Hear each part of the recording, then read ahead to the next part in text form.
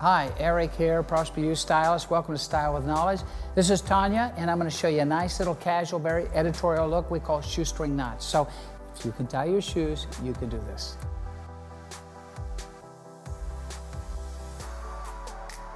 So we're going to start off right here, and I'm just going to take a section right this way, and we're going to take an equal section on the other side. We're going to start this right in the front. But one thing that I don't like to do is have a center part on this. So I'm going to start a little further over.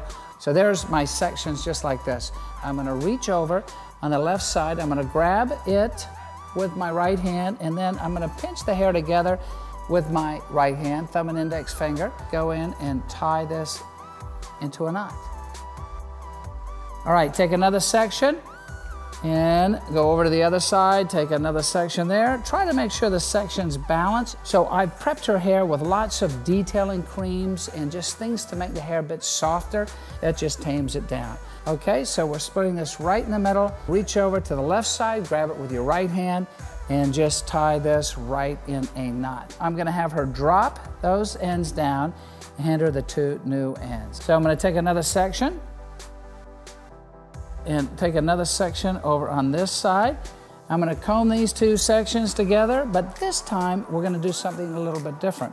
I'm gonna split this in two like we've been doing, but this time I'm gonna take this section right here, the very first section, I'm gonna add it over here to this side. All right, see what I did? Now I'm gonna switch sides and I'm gonna take that very first section that we did, I'm gonna take it over and I'm just gonna pass it on to the left side.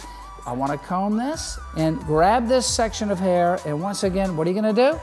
You're gonna do the shoestring knot. Nice and easy. Once you've got that knot in, I'm gonna have her drop that and I'm gonna hand her the new sections. And once we get to about to the ear, we're gonna pivot the sections around. Now you can see I'm taking pretty moderately sized sections. They could be smaller, they could be larger. It's you know really up to you. Comb it smoothly and neatly. Now split this in two. We're gonna once again add this section into this side and we're gonna add this section here into this side. Take this and tie it in a knot. Hand this to Tanya. Right about behind the ear. We're gonna pivot a little bit just to get the balance of the hairstyle just perfect. Divide this right in two. Take the right side and we're gonna take the other side and we're gonna add the other section in.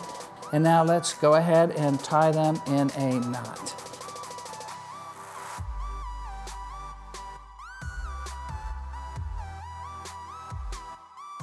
All right, now that we're finishing up down here, we've tied this in a knot. We're gonna take this section from the top and tie knots here until we reach the very end.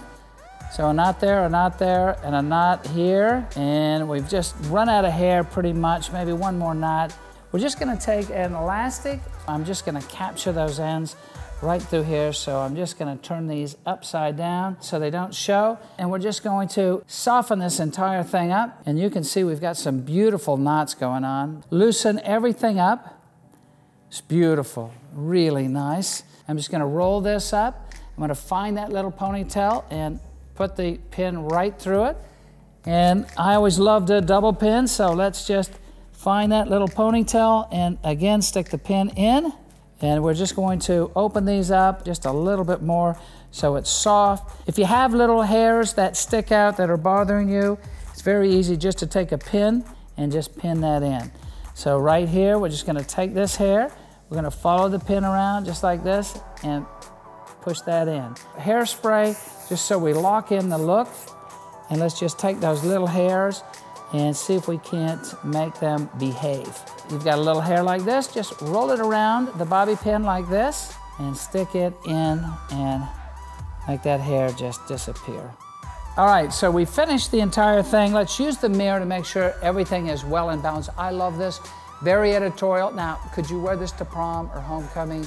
You know, yeah, you could. I mean, actually, it looks pretty elegant, doesn't it?